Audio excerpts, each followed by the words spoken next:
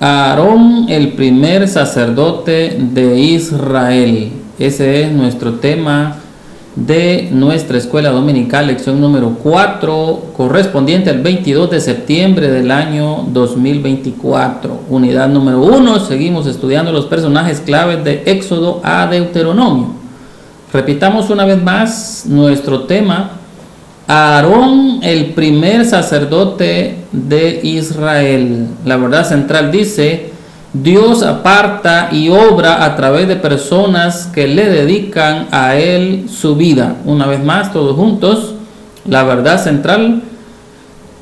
Dios aparta y obra a través de personas que le dedican a Él su vida.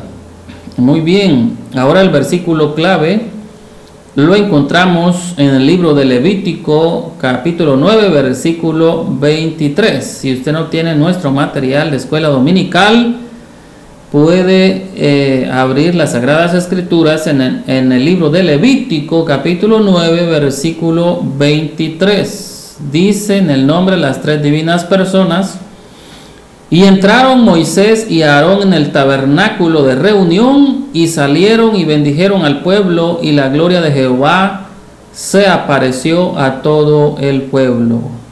¿Qué dice si oramos y le pedimos al Señor su guía, su dirección y su ayuda?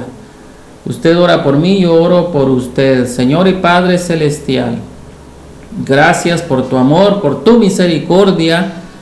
Gracias porque nos tienes, Señor, con vida y con deseo de aprender y crecer en el conocimiento de tu palabra. Te pedimos, Señor Espíritu Santo, que seas tú nuestro Maestro, que nos ilumines, que nos enseñes esas cosas grandes, ocultas y difíciles que nosotros no conocemos. Toma el control de mis labios, Señor, de mi mente. Usa mis labios, Espíritu Santo, como tú quieras usarlo y que esta palabra transforme nuestra manera de pensar, de hablar y de actuar. Yo bendigo a cada uno de mis hermanos y hermanas que se han conectado, Señor, a este canal, a esta palabra. No es una casualidad. Tú tienes, Señor, propósitos eternos para cada uno de nosotros. Cúmplelos, por favor, Señor. Y si tienes que corregirnos, con humildad, Señor, aceptamos esa corrección. En el nombre de Jesús. Amén. Muy bien, esta lección eh, de escuela dominical está basada en el libro de Éxodo, capítulo 28, eh, capítulo 28, versículo 1 al 5, y Éxodo, capítulo 32, versículo 1 al 35. También eh, el fundamento es, lo encontramos en Levítico, capítulo 8, versículo 1 al capítulo 9, versículo 24 de Levítico. Y la última cita es Números capítulo 17, versículo 1 al 11. Así que eh, detalladamente, mire, usted puede estudiar o podemos estudiar esta lección con cada uno de estos pasajes. Pero acá, por el tiempo, vamos a enfocarnos en un solo punto. Acá solamente damos un entremés porque estas lecciones son bastante, bastante extensas, que se necesita por lo menos unas dos horas diarias para estudiar toda la lección. Entonces, quisiera eh, que nos enfocáramos en Aarón, pero usted puede estudiar, como le digo, la vida de este varón. Aarón, hermano de Moisés, es una figura destacada en la Biblia, especialmente en el relato del Éxodo. Aquí algunas de sus características más sobresalientes y el papel que desempeñó como instrumento de Dios. Pregunta, ¿usted y yo estamos dispuestos a que Dios nos use como sus instrumentos? Si su respuesta es sí, entonces tenemos que comenzar a santificarnos, a consagrarnos a la obra de Dios para que sus planes, sus propósitos y su voluntad se cumpla en nosotros. Dios eligió a Aarón como sumo sacerdote Aarón fue el primer sumo sacerdote del pueblo de Israel. Dios lo eligió para este papel y le dio la responsabilidad de ofrecer sacrificios y liderar el culto en el tabernáculo. Sus descendientes formaron la línea también de los sacerdotes levitas. Aarón también fue un portavoz de Moisés, aunque Moisés fue el líder principal durante la liberación de Israel de Egipto. Aarón actuó como su portavoz. Moisés tenía dificultades para hablar, por lo que Dios designó a Aarón. Mire, ya, ya conocemos la historia de todas las excusas que Moisés le dio a Dios. Pero recuérdese, Dios no acepta ni aceptará ninguna excusa de nosotros. Así que Dios designó a Aarón para comunicar los mensajes divinos tanto a los israelitas como al faraón. También eh, Aarón realizó milagros. Bueno, Dios realizó milagros a través de este varón.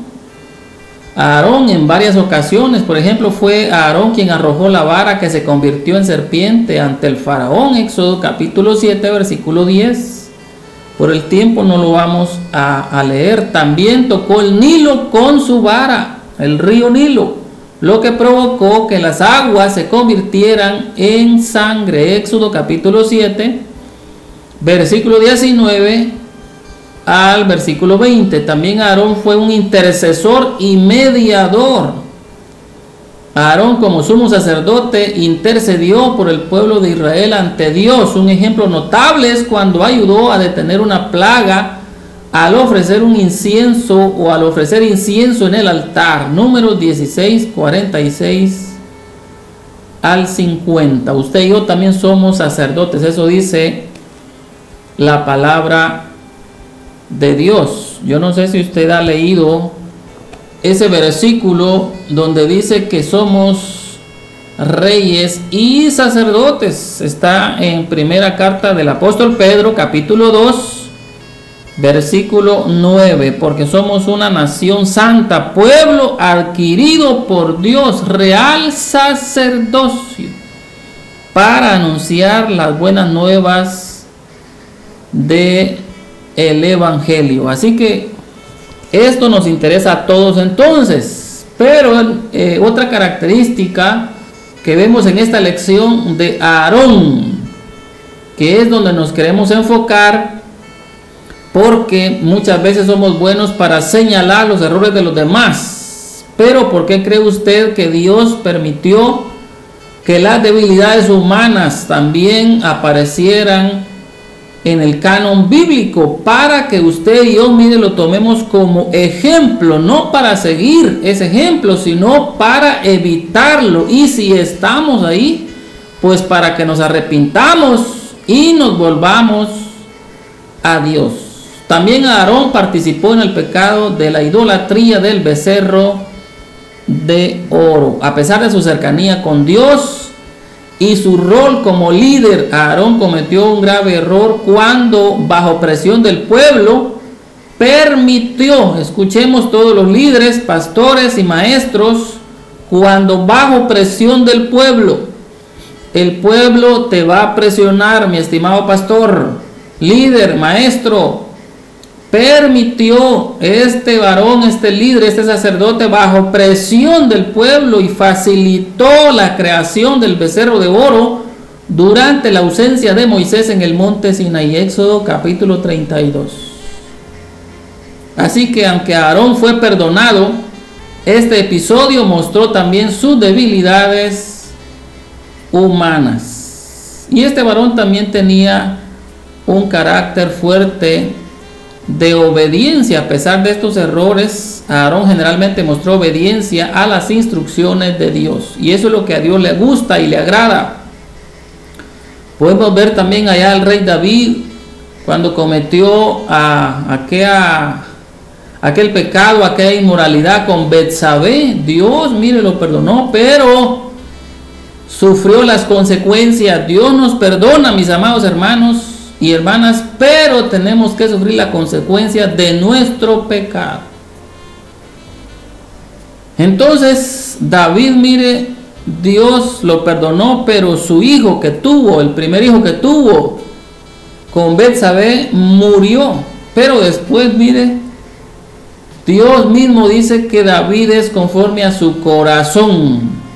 Así que no esperemos perfección en nuestros líderes, porque ellos también son seres humanos y van a cometer errores. No crea usted que ya son angelitos elevados a la divinidad. No, tienen también o tenemos también nuestras deficiencias.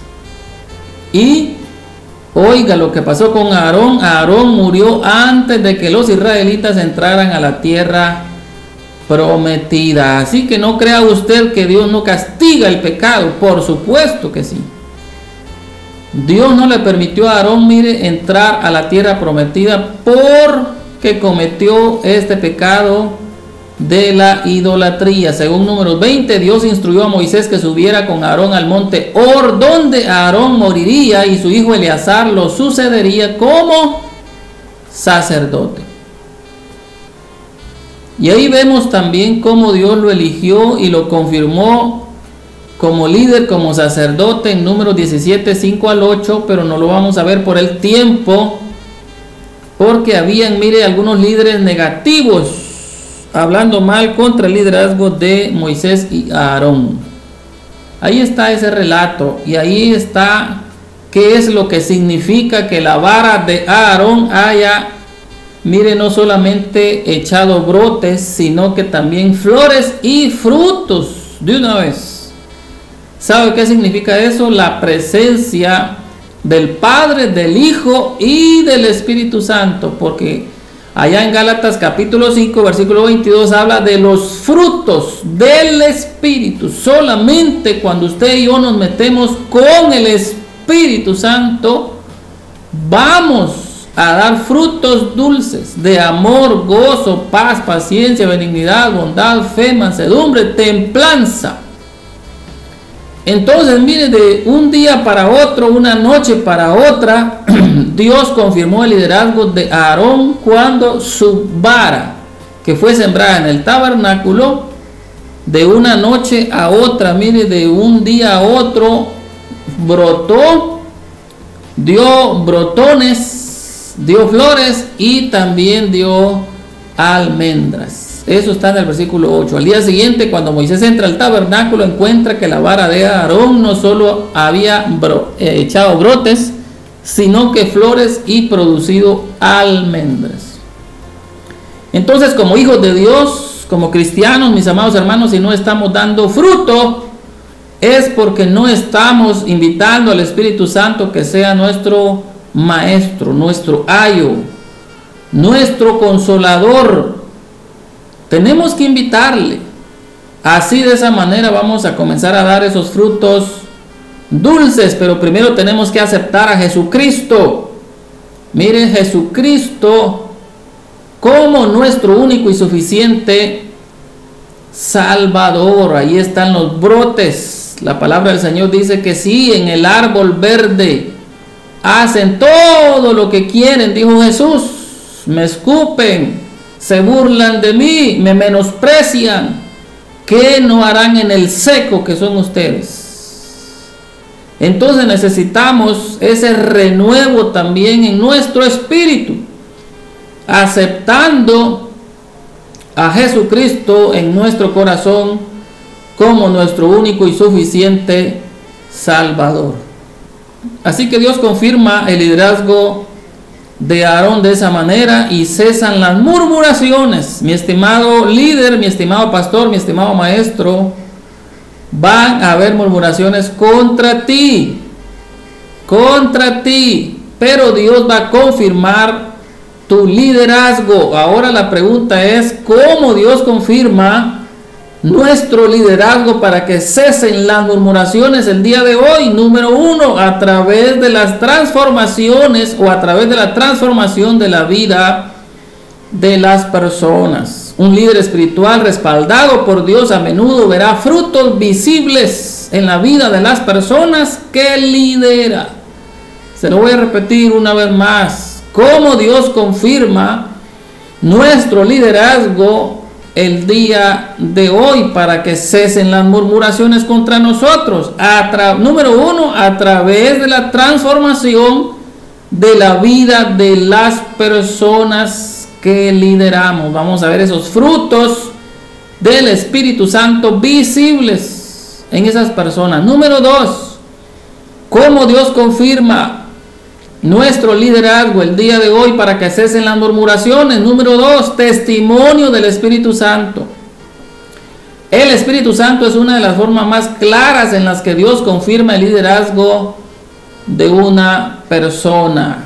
Un líder lleno del Espíritu Santo demuestra, apunte por favor, sabiduría, amor, humildad y discernimiento de espíritus. La paz, la unidad y el poder del Espíritu en la vida de un líder sirven como testimonio de que su liderazgo está en la línea con la voluntad de Dios. Y esto lo vemos en Hechos capítulo 1, versículo 8. Y Juan, el Evangelio de San Juan, capítulo 16, versículo 13. Cómo Dios hoy confirma nuestro liderazgo para que cesen las murmuraciones. Número 3, con el carácter y fruto del líder. Lo que estamos hablando en 1 Timoteo 3, 1 al 13 y Tito 1, 5 al 9. Se destacan las cualidades que deben tener los líderes en la iglesia. Debemos de tener carácter de integridad, honestidad, capacidad para enseñar y servir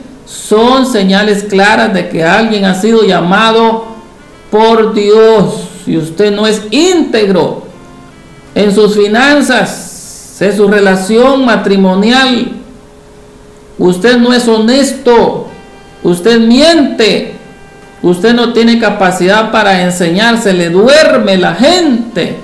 Y cuando lo ponen a servir dice que no quiere servir, entonces usted debería estar haciendo otra cosa y no estar de líder en la iglesia. Número cuatro, cómo Dios hoy en día confirma nuestro liderazgo y para que las murmuraciones cesen. Número cuatro, unidad y paz en la comunidad. Mire, se lo voy a leer nada más porque eh, quisiera entrar a, acerca de la idolatría, porque esto es un pecado. Mire, Dios aborrece todos los pecados. Pero este pecado de la idolatría, nos hemos dado cuenta de que a Dios, mire, le, eh, le repugna más que todos los demás. Unidad y paz en la comunidad. Número 5. Confirmación a través de otros líderes espirituales. 6. Oración y discernimiento. 7. Paciencia y perseverancia ante la oposición. Si usted tiene paciencia y perseverancia ante la oposición, déjeme decirle, mi estimado hermano líder, pastor, maestro, que usted, mire, está siendo confirmado por Dios en su liderazgo, en su ministerio. En la Biblia Dios confirma el liderazgo a largo plazo, demostrando su respaldo a través de la paciencia y la perseverancia. Y número 8, resultados visibles en el cumplimiento de la misión. ¿Sabe qué vamos a hacer? Les voy a dejar estos, estas confirmaciones eh, de liderazgo que Dios hace el día de hoy aquí en la cajita de comentarios del video. Ahí lo vamos a dejar. Dios sigue confirmando el liderazgo hoy en día, no solo a través de milagros visibles, sino mediante la obra del Espíritu Santo, el fruto del carácter, el crecimiento espiritual de la comunidad y el testimonio de otros creyentes. Aunque pueden seguir murmuraciones, Dios respalda a aquellos a quienes ha llamado para servirle en el ministerio, en el liderazgo y con el tiempo su respaldo se hace evidente a través de los frutos espirituales y la paz en la comunidad. Entremos entonces, aunque sea unos 15 minutos o 20 minutos, acerca de la idolatría.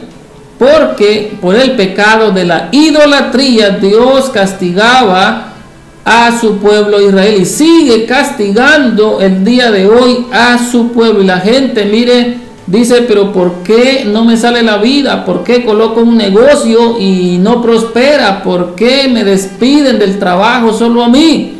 ¿Por qué no me pagan los que me deben? ¿Por qué hasta el perro quiere orinarme? Etcétera, etcétera, etcétera. Presto una bicicleta y se me arruina en las manos. Todo eso es bajo, está bajo juicio. Está bajo la espada de Jehová. ¿Cuál es la razón? Aquí está. Dice que Aarón hizo posible la idolatría. Aarón cede al pueblo. Escuchemos mis amados hermanos, esta es la clave para mí, una de las claves de esta lección. A pesar de los eventos milagrosos que habían presenciado meses antes, el pueblo se quejó del largo tiempo que había Moisés estado en la montaña. Mire, a Dios no le gusta que nos quejemos. La palabra del Señor dice que tenemos que dar gracias a Dios en todo. No importa, mis amados hermanos, si estamos pasando el Niágara en bicicleta, si estamos pasando, mire, el valle de la sombra y de la muerte. Deberíamos mejor de decirle Espíritu Santo, enséñame, enséñame y muéstrame qué es lo que tengo que dejar y ayúdame a dejar las cosas que a ti no te agradan. Entonces se quejaron sin respeto alguno, exigieron a su sumo sacerdote que les fabricara un Dios. Vea usted, mis amados hermanos, el corazón del idólatra. Primero se queja, dos, no respeta la autoridad. Tres, son exigentes. El idólatra es exigente para que le fabricara un dios y luego se involucraran descaradamente en la adoración del ídolo. En la adoración del ídolo. ¿Qué dice la palabra del Señor, mis amados hermanos, acerca de la idolatría? No crearás ninguna imagen ni semejanza de lo que está en el cielo, la tierra o debajo de las aguas, ni los adorarás, porque yo soy Jehová tu Dios fuerte y celoso. Ahora si Jehová no es su Dios, pues adore lo que usted quiera. Pero si Jehová es nuestro Dios y estamos, escuchemos con los cuatro oídos, mis amados hermanos. Si Jehová es nuestro Dios, pero estamos adorando dioses ajenos, mire, el juicio viene para los idólatras. No tendrás dioses ajenos delante de mí. No te harás imagen ni ninguna semejanza de lo que está arriba en el cielo, ni abajo en la tierra, ni en las aguas de debajo de la tierra. No te inclinarás a ellas, ni las honrarás. Porque yo soy Jehová tu Dios, fuerte, celoso, que visito la maldad de los padres sobre los hijos hasta la tercera y cuarta generación de los que me aborrecen y hago misericordia a millares a los que me aman y guardan mis mandamientos. ¿Ya se dio cuenta usted? Aquí está el juicio, pero también está la misericordia. Y vea usted si un, por, por ejemplo, si un padre es idólatra, esa maldición la va a alcanzar su hijo, su nieto, su bisnieto y su tataranieto. Eso dice el versículo, los versículos. Éxodo 20, 3 al 6. Oiga lo que dice, se lo vuelvo a leer. Porque yo soy Jehová tu Dios fuerte, celoso, que visito la maldad de los padres sobre los hijos hasta la tercera y cuarta generación de los que me aborrecen. Pero hago misericordia a millares, a los que me aman y guardan mis mandamientos. Levítico 26.1, no haréis para vosotros ídolos ni escultura, ni os levantaréis estatua, ni pondréis en vuestra tierra piedra pintada para inclinaros a ella, porque yo soy Jehová vuestro Dios. Mire mis amados hermanos, la Biblia está llena de estas advertencias. Éxodo 24, no te inclinarás a imagen, ninguna semejanza de lo que está arriba en el cielo, ni abajo en la tierra, ni en las aguas de debajo de la tierra. Usted me dirá, hermano, pero nosotros no tenemos imágenes. Permítame, ahorita les vamos a hablar un poquito acerca de la idolatría moderna que está metida dentro de las iglesias. Primera Corintios 10, 14. Por tanto, amados míos, huid, huid de la, de la idolatría. Mire, cualquier pecado trae la, el juicio, pero el pecado de la, de la idolatría, mis amados hermanos, que fue donde cayó Israel. Mire, esto no nos permite, este pecado no nos permite entrar a la tierra prometida y disfrutar las bendiciones de Dios. Levítico 19:4. No os volveréis a los ídolos, ni haréis para vosotros dioses de, de fundición, yo Jehová vuestro Dios. Salmo 16:4. Se multiplicarán los dolores de aquellos que sirven diligentes a otros dioses. Creo que no me escuchó. Por favor, mis amados hermanos, que el Espíritu Santo sea el que ilumine, mire y revele esta palabra con sus cuatro oídos. Salmo 16, 4. Véanlo, las consecuencias, las consecuencias de la idolatría. Se multiplicarán los dolores de aquellos que sirven diligentes a otros dioses. ¿Qué les parece? 1 Corintios 17, no seáis idólatras como algunos de ellos, según está escrito, se sentó el pueblo a comer y a beber y se levantó a jugar. Vea usted la idolatría de hoy. Hoy en día, ¿cuál es la idolatría, mis amados hermanos? La comida. La gente está idolatrando la comida. La palabra del Señor dice que su vientre es su Dios. Solo piensan en comer, no hacen ayuno ni siquiera una vez por semana. Si usted supiera del beneficio del ayuno, estuviera ayunando ya hace rato, solo le voy a decir uno. Cuando ayunamos por lo menos unas 22 a 26 horas, vea usted que nuestro cuerpo, solo cuando ayunamos, genera, produce células madres solo un, un beneficio, porque hay bastantes. Cuando ayunamos, solo cuando ayunamos de 22 a 26 horas, nuestro cuerpo produce células madres. Vea usted, la gente tiene la comida como su ídolo. ¿Y qué más dice? La bebida. La gente, mire, anda buscando bebidas. No anda buscando la palabra de Dios y agradar a Dios no, ni consagrándose. Anda buscando la comida y la bebida. ¿No ve usted que donde hay comida y bebida hay más gente? ¿Por qué cree usted que cuando en las iglesias hay casamientos o aniversarios es cuando llegan hasta los que no son evangélicos? Porque hay comida y hay bebida gratis. ¿Y qué más dice? Se levantó a jugar. Vea usted la otra, el otro ídolo que la gente tiene. El juego. El juego, mis amados hermanos, ahí miren los casinos y en los juegos de billar y en las maquinitas, ¿conoce usted las famosas maquinitas? ¿Será que hay cristianos jugando las maquinitas, mis amados hermanos?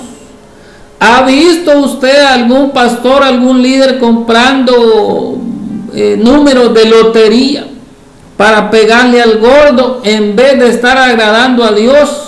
Siendo fiel con su diezmo, ofrendas y primicias para que Dios reprenda al devorador. Ya se dio cuenta que somos buenos para juzgar a los israelitas. Ah, es que ellos se levantaron, hicieron un ídolo, un becerro de oro. Pero mire, Oseas 11.2, cuanto más yo los llamaba, dice el Señor, tanto más se alejaban de mí. A los baales sacrificaban y a los ídolos ofrecían saumerios. Salmo 135, 15. ¿Qué dice Salmo 135, 15? Acompáñeme. Los ídolos de las naciones son plata y oro. ¿Qué le parece? No tenemos imágenes, pero mire, si el dinero ocupa el primer lugar en nuestro corazón, usted y yo somos idólatras. Y hoy nos tenemos que arrepentir, mis amados hermanos. ¿Por qué vamos a esperar hasta el domingo? Es posible que su líder o su pastor o su maestro no hable de esto, o si habla va a hablar diferente, pero acá mire el Señor nos da una palabra rema. Ustedes me conocen y nos conocen, acá damos una palabra, mire un rema especial de parte de Dios, porque este programa nació y viene directamente del corazón de Dios. ¿Sabe para qué? Porque Dios nos ha dicho que quiere preparar a su novia para las bodas. Dios está interesado en que el vestido de la novia esté, esté blanco, sin mancha y sin arruga. La palabra del Señor dice que no tenemos que confiar en las riquezas porque son, mire, como las águilas que alzan sus alas y se van. Es cierto, Dios nos da, mire, la oportunidad de hacer las riquezas, mis amados hermanos, pero mire que, que el espíritu de Balaán no se nos ministre que el espíritu de la esposa de Lot no se nos ministre, que el espíritu de, Ananías y Zafira, mire, lo echamos fuera en el nombre de Jesús, que sea Dios el que ocupe el primer lugar en nuestras vidas. Isaías 45, 20.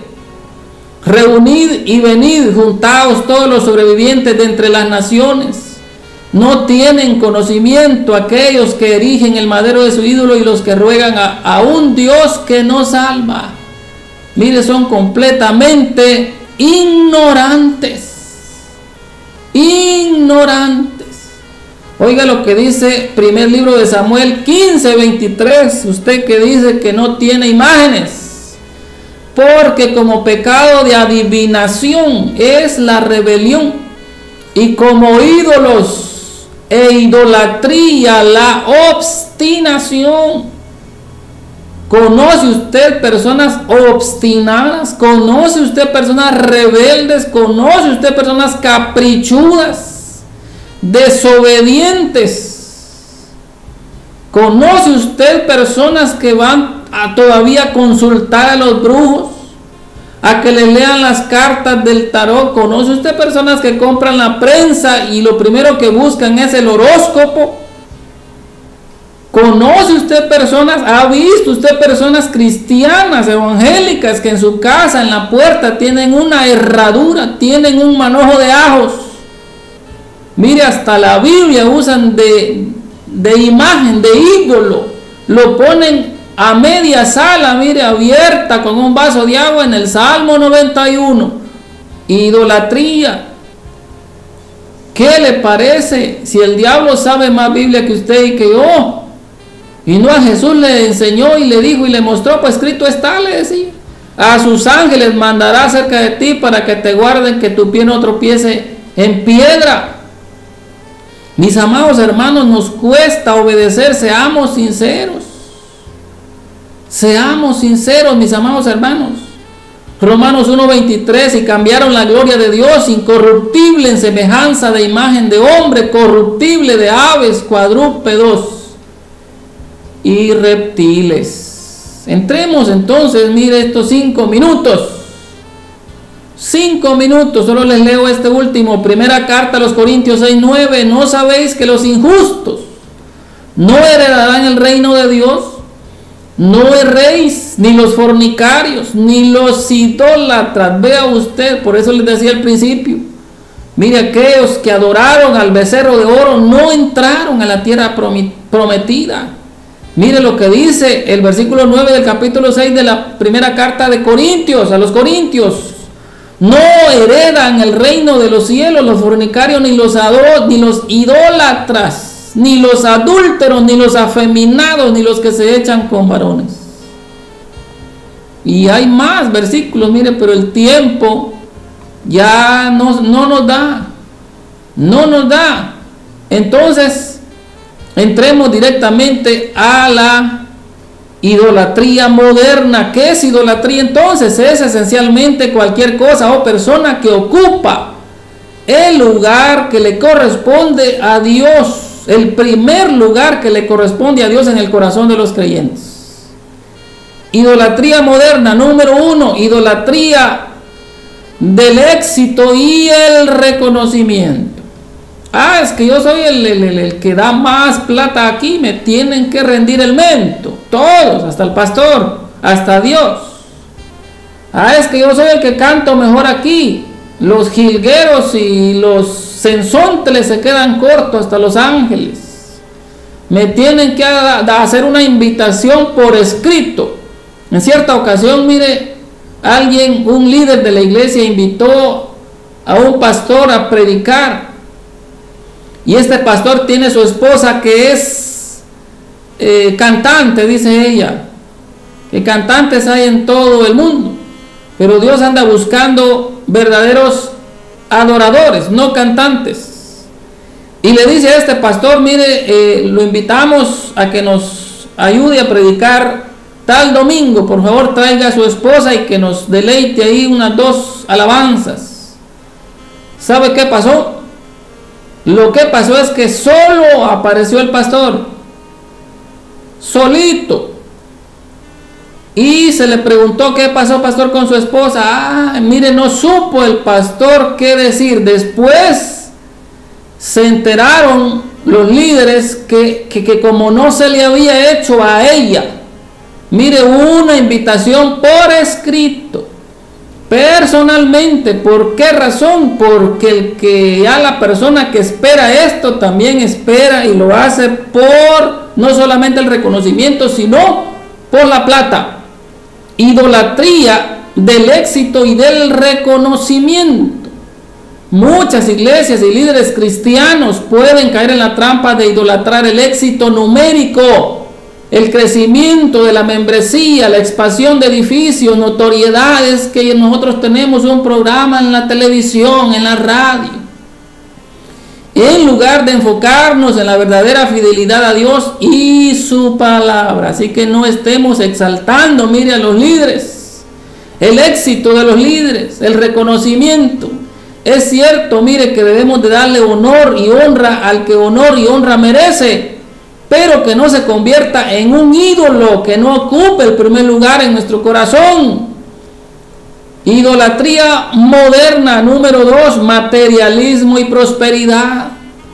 La teología de la prosperidad es un ejemplo claro de idolatría moderna, donde el bienestar material y la riqueza se colocan por encima de la fe y la obediencia a Dios. Mire, Dios está triste con un montón de iglesias y líderes que su Dios es el dinero. No les interesa agradar a Dios ni consagrarse, ni mucho menos vivir en santidad. Lo único que les importa es que la gente, mire, llegue y que llegue más gente y que traigan plata. ¿Qué le parece? Algunas iglesias predican que la bendición de Dios se mide principalmente por el éxito financiero o material, haciendo que el dinero y las posesiones se conviertan en un fin en sí mismo. Tradiciones religiosas o formas de culto también pueden ser una idolatría moderna. Las formas o tradiciones litúrgicas, aunque pueden ser útiles, a veces se elevan al nivel de idolatría cuando se les da más importancia que a una relación genuina con Dios y a su palabra. Algunas personas adoran más las tradiciones, ritos o estilos de culto que a Dios mismo. Apertura. Tres alabanzas, cinco coritos, ofrenda, testimonios, prédica, anuncios, despide y antes de que despidan ya muchos están en su casa. ¿Será ese el culto a Dios? ¿De verdad, mis amados hermanos? ¿Será que eso es lo que eh, estamos agradando a Dios haciendo eso en, en las iglesias? Idolatría moderna, éxito ministerial personal. Algunos líderes o creyentes hacen de su ministerio o dones espirituales un ídolo, buscando constantemente reconocimiento y logros en sus áreas de servicio. Teología y redes sociales, tecnología y redes sociales. En la era moderna la tecnología y las redes sociales también pueden convertirse en ídolos. Esto sucede cuando los creyentes dedican más tiempo y atención a las plataformas sociales. Si usted, antes de arrodillarse en la mañana, lo que hace es encender su celular, déjeme decirle que usted es un idólatra y su ídolo es su celular o las redes sociales. Esto sucede cuando los creyentes dedican más tiempo y atención a las plataformas sociales buscando aprobaciones o buscando like o buscando seguidores. Usted ya se dio cuenta acá Mire, ni siquiera le decimos que nos dé un like, que le dé me gusta, que lo comparta, que un montón de cosas. Yo, mire, gracias a Dios y a la misericordia de Dios no tenemos necesidad de eso. Si usted quiere, lo comparte, si no, no tenga pena. Aquí estamos agradando a Dios y eso es lo que queremos. No queremos agradar a la gente. Líder, si tú quieres agradar a Dios y a la gente, vas a desagradar a Dios. Porque por lo regular la gente quiere lo que a Dios le desagrada. Obsesión por la imagen pública o la aprobación de otros en las redes sociales. El hacer del entretenimiento digital una prioridad por encima de la devoción espiritual es una idolatría. Conocimiento teológico e intelectualismo. Aunque el estudio de la Biblia es vital a algunas personas, convierten el reconocimiento intelectual en un ídolo.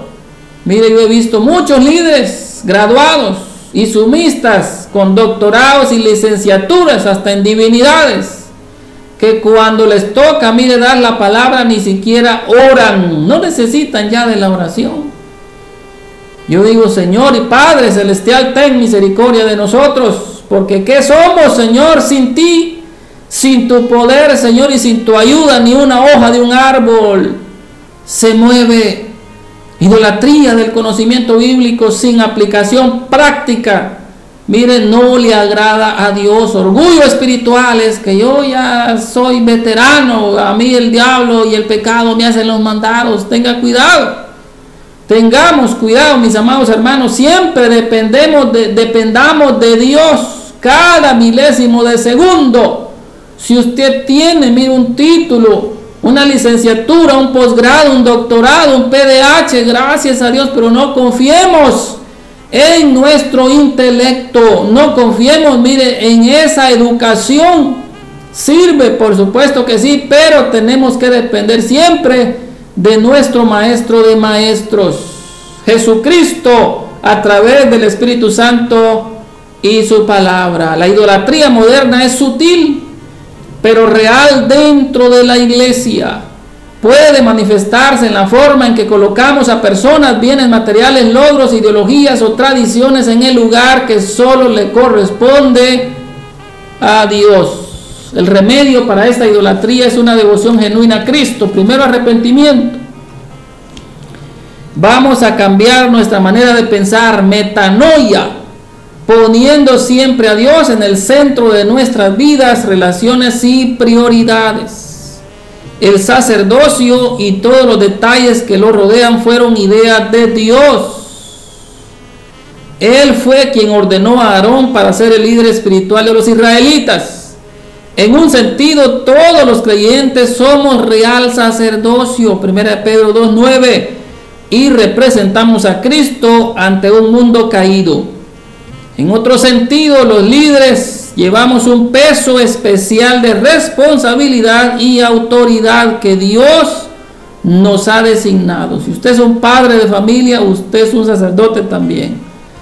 Entonces vamos a hacer una lista de las formas en que podemos apoyar activamente a quienes nos han sido ordenados para guiarnos espiritualmente.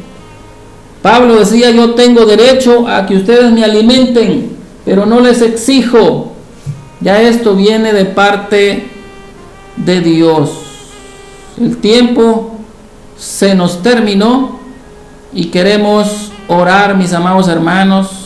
Si usted tiene un pastor, vea esta semana cómo puede honrar a ese pastor, a ese líder, a ese maestro que Dios está usando para bendecirle y compartirle estos tesoros, estas perlas preciosas que tienen valor eterno y que se encuentran en las sagradas escrituras. Señor y Padre Celestial, gracias por tu palabra.